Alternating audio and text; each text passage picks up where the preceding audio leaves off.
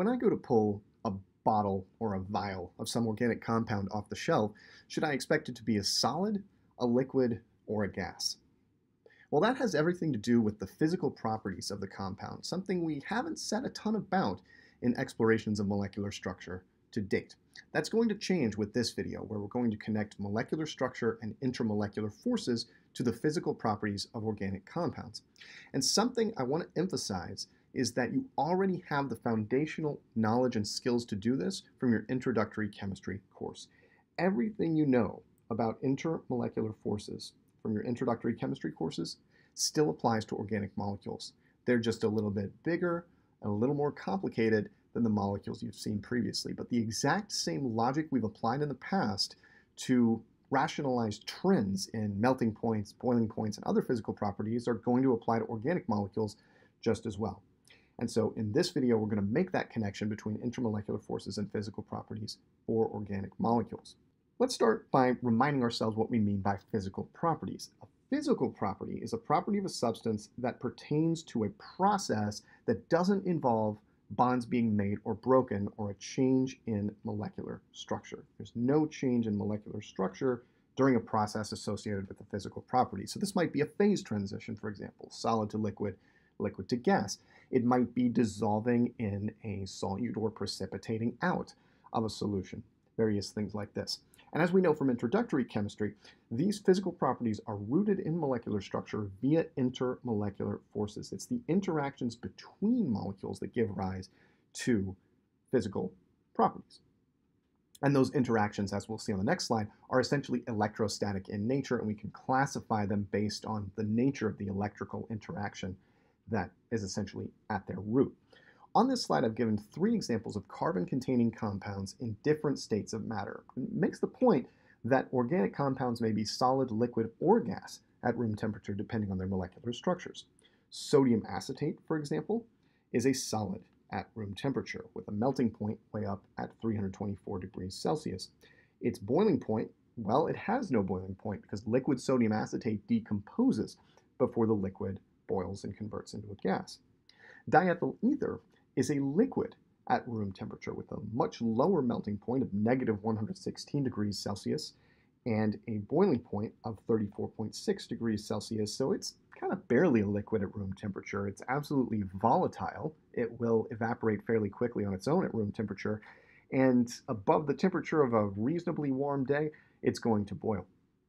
Chloromethane melts at negative 97 degrees Celsius, but is a gas at room temperature, boiling at the very low temperature of negative 23.7 degrees Celsius. So here we have solid, liquid, and gas, and an absolute downward trend in the melting and boiling points. What we want to be able to do is connect that downward trend to properties of the molecular structures of these compounds. What is it about sodium acetate that gives it such a high melting point? What is it about chloromethane that makes its melting and boiling points so low? We're going to do that in the remainder of this video, drawing on our understanding of intermolecular forces from introductory chemistry. So let's dive right into intermolecular forces and remind ourselves what's going on here.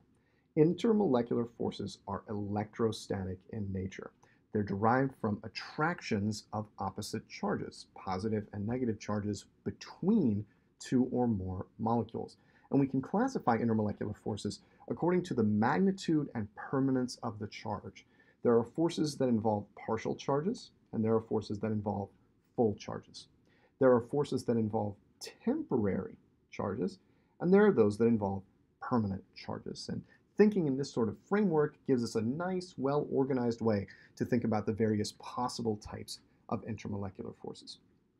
I've listed them on this slide. And the first which is arguably not an intermolecular force, but fits in here nicely into our scheme because it involves full permanent charges, are ion-ion forces, or ionic bonds. These occur in ionic compounds, compounds involving bonding between a metal and a nonmetal typically. So something you've probably seen in your introductory chemistry course and in everyday life is sodium chloride. And of course, what we saw on the last slide, sodium acetate which contains an ionic bond between the sodium cation and acetate anion, has ion-ion forces as well. So these compounds contain very, very strong, what we might call interparticle or inter-ion interactions essentially ionic bonds. Intermolecular forces that do not involve these full permanent ionic charges are collectively known as van der Waals forces. And this term is sometimes misused um, to just refer to London dispersion forces, but in fact, all intermolecular forces between partial charges or involving a partial charge are collectively called van der Waals forces. Generally, the strongest of the van der Waals forces are hydrogen bonds, and this is a special type of dipole-dipole interaction involving most commonly an OH, NH, or FH bond, as well as a lone pair on oxygen or nitrogen. Speaking of dipole-dipole forces, these tend to be a little bit weaker than hydrogen bonds because of their lack of a covalent component, and these are just interactions between partial positive and negative charges in molecules with a permanent dipole. So we have permanent partial positive and permanent partial negative involved in dipole-dipole forces.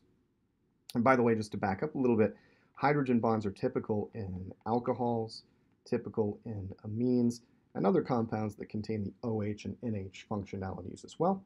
Dipole-dipole forces you'll see show up in any compound with a pretty strong permanent dipole mm-hmm. moment. Things like acetone, acetonitrile, groups like C double bond O, C triple bond N, things like this. London dispersion forces involve temporary partial charges as a result of random fluctuations of the electron clouds of molecules. And these are the dominant intermolecular forces in hydrocarbons. It explains why hydrocarbons like hexane and pentane are liquids at room temperature. They have strong enough London dispersion forces to remain in liquid form, basically hold their liquid form at room temperature. So hydrocarbons like CnH2n plus 2, alkanes, that kind of thing, tend to have dispersion forces as the dominant intermolecular force, although these other types of compounds also exhibit dispersion forces. One that's important for mixtures is listed here, ion dipole forces.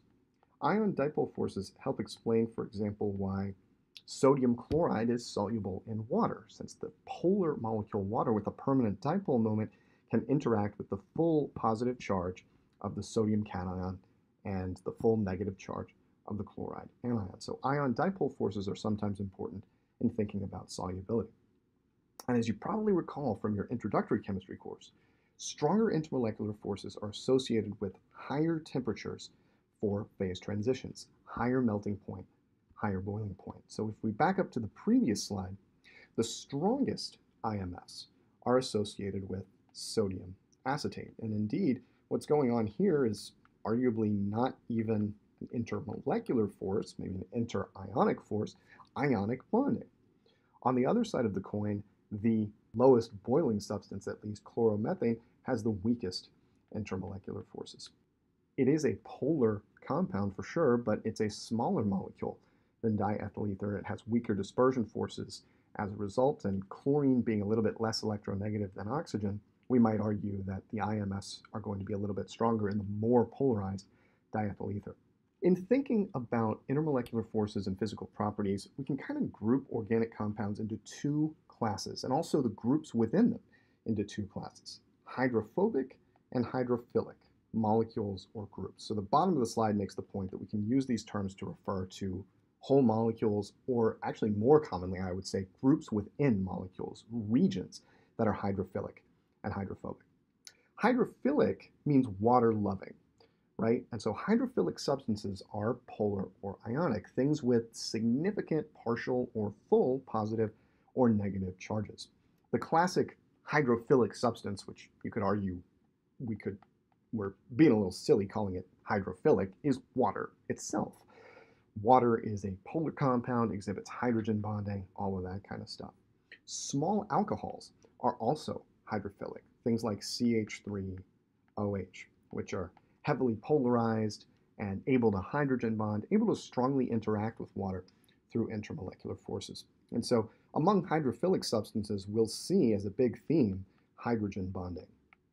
We'll also see permanent dipoles and a pretty strong permanent dipole so that we can get pretty strong dipole-dipole forces involved with hydrophilic substances. Or again, groups, heavily polarized groups within organic molecules can also be called hydrophilic. On the other side of the coin, we have the water-hating or hydrophobic substances, and these are nonpolar molecules that do not interact strongly with water and, and generally form, for example, entirely different layers or entirely different phases from an aqueous or, or water phase. And these are nonpolar compounds. And these are the hydrocarbons and other sort of oily nonpolar things that we're used to seeing in organic chemistry. Molecules like hexane, no letters to be seen in that Lewis structure, right? Carbons and hydrogens abound. Double and triple bonds don't really change the situation in these. So for example, one hexene is also a hydrophobic substance. We can also, again, talk about hydrophobic groups within a molecule. So to give you an example of this on the slide, fatty acids are these long chain molecules with a long hydrocarbon chain capped off with a carboxylic acid group. The carboxylic acid group, if we look at it in isolation, it's got the ability, the capacity to hydrogen bond. It's got an oxygen with two lone pairs involved in a double bond. It's got a second oxygen that's part of an OH group that can serve as a hydrogen bond donor. That thing would love to hydrogen bonds. So that end of the molecule, we could argue, is hydrophilic. On the other hand, we have this huge greasy alkyl chain on the other side of the molecule, which of course lacks the ability to hydrogen bond. There's essentially no polarization of electrons on that side of the molecule.